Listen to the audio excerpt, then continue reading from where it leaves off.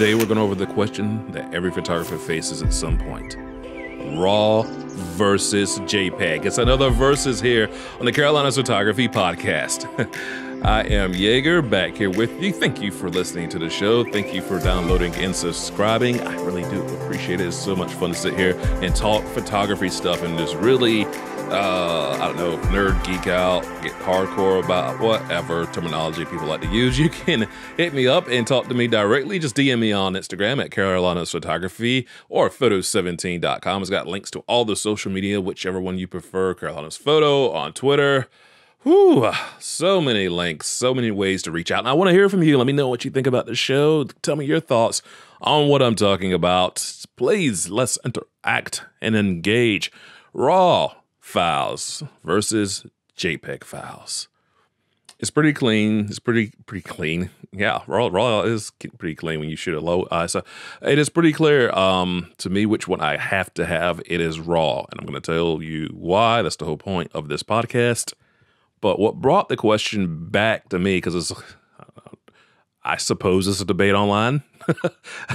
Maybe I'm biased and I've clearly buried the lead and said, yeah, raw files all the way. Maybe it's a debate. Depends on what you want to do with it. Just like everything, it depends on what you're going to do with it in the end. I'm going to do a whole lot of uh, color grading and Photoshop stuff, Lightroom stuff, and manipulating pictures. So, need all the information I can get, all the dynamic range that I can get. I'm going to break it down. But a buddy saw me out, and this blew my mind that raw files um, are sort of this thing that just seems uh, a little bit out there um, in a way where it's like this mystical level of proportions. I will explain by the question that he proposed to me is if I shoot raw, will I be able to see the photos? And I was like, do you mean literally see as in your LCD screen? He's like, yeah. I was like, wow, okay, we've got to talk about raw a little bit. Um, I thought maybe he meant as in seeing how it could come out as a final image saturated like with JPEG. That was not where he was going. And it went some more places too that were just like, where did all these crazy misnomers come from about raw files? It's very, very simple.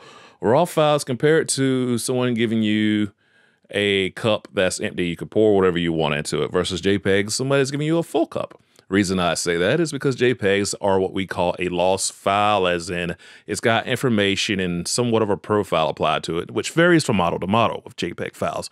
RAW, completely uncompressed, almost. You can also get a a version of compressed raw files, which kind of defeats the purpose. But the reason you would do that is to save space. This has been the big thing with raw files, which I kind of think could be fading depending on how much you shoot as a professional. You probably shoot a lot. So, space and hard drive space is a price that you're going to have to tend to. You're going to start getting into needing a bunch of terabytes of RAIDs and cloud storage or whatever that could be. You don't even have to really be a pro for that. You just shoot a lot of raw files. I haven't had much of a problem with that. For all the shooting and vlogging that I do, um, I might upgrade or replace or add a hard drive of like two terabytes every two years, maybe. And those are getting lower and lower. And of course, you can get much bigger ones on a great deal. So I haven't had the hard drive or storage problem that comes along with storing raw files, which are just inherently going to be larger because they're uncompressed files. Why would you want those uncompressed files? Because you can push colors way further. Like I said in that example, somebody gives you an empty cup, you can pour whatever you want to drink in there versus someone giving you some water. You can't pour too much in that cup and you might not be able to mix it with something that tastes good, or maybe you can. but you'll have less room inside of it to fill it up with what you want. That is a way to think about raw files. And that also applies to some log footage on video, but that's similar, but a whole other conversation to have. They're kissing cousins, but yeah, there's way other things to consider when you shoot like that. But it's kind of coming from uh, well, you can also shoot crazy raw video as well. Yeah, so completely different thing but not really. That's a, that's kind of the theme on this show in photography. This is different, but uh, there's a lot of similarities. This is completely crazy. Uh, they're pretty sane and pretty close together and pretty much samey. but we're talking strictly pretty much about still shots today on this show. And I just got to say, I came across so many good articles online talking about this very topic. It's almost time to wrap up as I look at the timer right here. But I do recommend RAW for all those reasons. Dynamic ranges basically just means that from dark to light, I've got more options. If I shoot something um, where one area could be kind of dark, one could be kind of bright, I can maybe get some information in there to make a good photo. Information as in you can see what is intended better. That works better or works the same if it's a darker photo. I can maybe lighten it up and get more information out of it that way.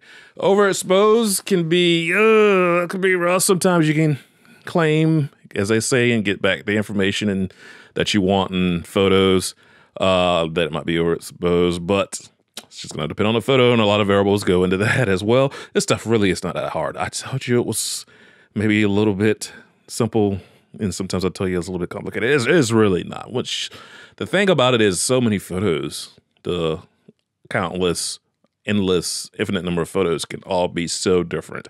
So it's tough to give you a good flat generalization on situations, and I, I can get into that when just doing a single photo shoot. The photos are going to be exposed way, way differently. So I do think that there's a thing where JPEGs are still useful though for saving hard drive space and because it gets you started on photos. Okay. And if you don't need all that additional dynamic range and tones and things to work on and photos and color, I mean, if you gotta shoot for an immediate display and you need to pop it, so pop the photo in something where it can be used in different devices, JPEG's the way to go. You can of course shoot JPEG and RAW and cover both bases that way if you want to, but I don't do that anymore. I used to, I did it for the longest time, and I didn't know what RAW files even were. I did not understand it.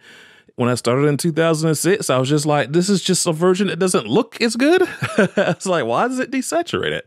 I had no clue what raw files were, so I was uh, like, Couldn't say accidentally because I said it, but I was just shooting that way because it just uh, I don't know. Raw sounds cool. NEF, the Nikon electronic format, as their version of RAW. That sounded like the cool thing to do.